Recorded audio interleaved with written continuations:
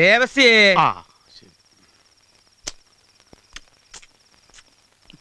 എന്നതാച്ചോ എന്നതാ കുട്ട? അവിടെ ഒരു ഒച്ച കേട്ടതുപോലെ. പോലെയല്ല ശരിക്കും കേട്ടതാ. ഗീവറീസ് പുണ്യാലും കുതിരപ്പുറത്തുനിന്ന് താഴെ വീണ് കാണും. ഇന്ന് തന്നെ ഇത് രണ്ടാമത്തെ പ്രാവശ്യമാണ്. അവന്റെ ഒരു ഒടുക്കത്തെ പാറ പൊട്ടിക്കലി. എന്നാണ് ഇതെല്ലാം കൂടി ഇടിഞ്ഞു പൊളിഞ്ഞ് താഴെ വീഴാൻ പോണത്? നീ ഇതിൽ പെരിഞ്ചീരകം ചേർത്തില്ലായിരുന്നോ? വെറുതെ അല്ല കോഴിക്കൊരു മണമണപ്പ്. എന്നിട്ട് ആ മണമെടുത്ത രണ്ട് കിലോ കോഴിയോടെ പോയി പറന്നുപോയ മുട്ട ഇരിപ്പുണ്ടോ കുട്ട? ഉണ്ടെങ്കിൽ നീ ഒരു അഞ്ച് മുട്ടയെടുത്ത് ഇച്ചിരി തക്കാളിയും ഇച്ചിരി കേബേജും ചേർത്ത് ഈ പുസ്തകത്തിൽ പറഞ്ഞ മാതിരി ഒരു കോക്ടെയിൽ ഓംലേറ്റ് ഉണ്ടാക്കി കൊണ്ടുവന്നേ മോനെ. ഈ പാചകപുസ്തകം എല്ലാം കൂടി ഒരു ദിവസം അടുപ്പിലിട്ട് കത്തിച്ചോളാം കേട്ടാ. പറഞ്ഞേക്കാം.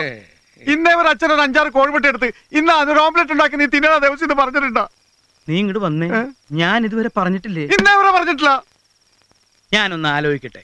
എന്നിട്ട് ഒരു ദിവസം പറയാം. മതി. അല്ല മേടയിലെ അവറാച്ചം കൊണ്ടുവന്ന അണ്ടിപ്പരിപ്പ് ഞാനൊരു വലിയ ടിന്നിലിട്ട് വെച്ചിരുന്നു. അതിപ്പോ ഒന്നും കാണില്ലല്ലോ അത് എലി തരണ്ടാവും ഓ എലി ഇപ്പൊ സ്വന്തമായിട്ട് ടിന്നിന്റെ അടപ്പ് തുറന്ന് അണ്ടിപ്പരിപ്പ് മുഴുവൻ തിന്നു തുടങ്ങിയോ? ഒരലിയല്ലോ രണ്ടലി. ഒരെണ്ണം ടിന്ന് തുറക്കും. മറ്റേത് തിന്നും.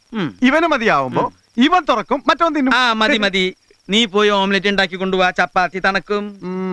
ഇനി ഇപ്പൊ എന്നാ കോക്ടെയിലിനായാലും ഓംലെറ്റിനായാലും കറണ്ട് വരണം. നിനക്ക് പോലും ഇത്തിരി കറണ്ട് ഇല്ലല്ലോ എന്റെ കറണ്ട് ഈ പുസ്തകത്തിൽ പറഞ്ഞ മാതിരി. ഓംലെറ്റ്